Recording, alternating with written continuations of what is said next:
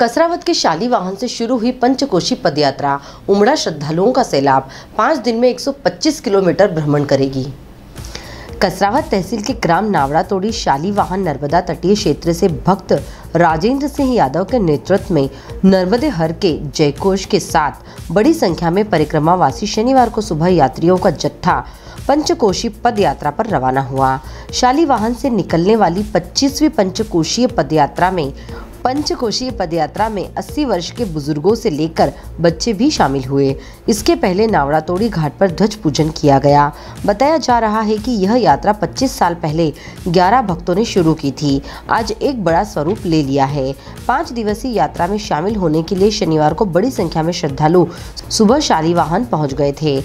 वह पंचकोशी यात्रा नर्मदा नदी के साथ साथ 125 किलोमीटर की यात्रा तय कर वापस शाली वाहन में समापन होगा।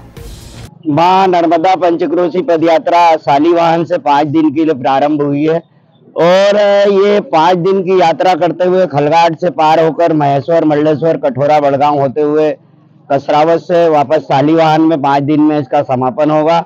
माँ नर्मदा की ये पंचक्रोशी पद यात्रा लगभग 25 वर्ष से प्रारंभ हुई है और लगातार चल रही है।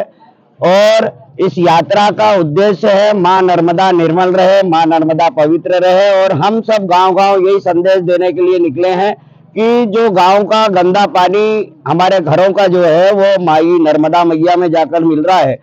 तो प्रत्येक गांववासी अपने घर में सोखता गड्ढा बनाए और माँ नर्मदा में ये गंदा पानी जो सीवरेज का जा रहा है, ये पानी रुके, माँ नर्मदा निर्मल रहे। इसी संदेश को लेकर माँ नर्मदा की भक्ति करते हुए सभी यात्रा यात्री पद यात्रा करते हुए पाँच दिन की इस यात्रा को पूर्ण करते हैं।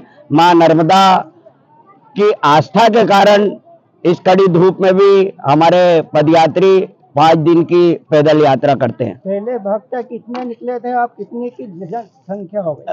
पहले साल लगभग 11 लोगों ने इस पंचक्रोशी यात्रा को प्रारंभ किया था और आज उसका स्वरूप बढ़कर आप ये जो देख रहे हैं, ये स्वरूप बढ़कर आज माँ नर्मदा की यात्रा का पद यात्रा का इतना बड़ा स्वरूप हुआ है।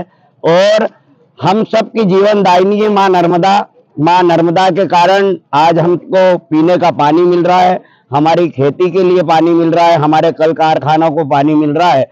और इसकी पवित्रता और इसकी निर्मलता बनाए रखना हम सबका कर्तव्य है। और इसी उद्देश्य को लेकर हमारी ये यात्रा पाँच दिन के लिए पदयात्रा प्रारंभ हुई है। डिजियाना न्यूज़ डिमांड रिपोर्ट कसरावत बाढ़ की पल पल की खबरों से अपडेट रहने के लिए हमारा चैनल डिजियाना न्यूज़ निमाड़ को सब्सक्राइब ज़रूर करें।